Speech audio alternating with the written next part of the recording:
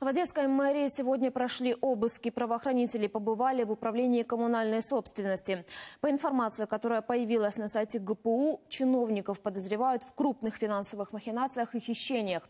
Как установило следствие, они без тендеров передали объекты, которые находятся в коммунальной собственности частным структурам. А часть имущества продали и сдали в аренду по заниженной цене. В схеме были задействованы также частные нотариусы и руководители подконтрольных предприятий.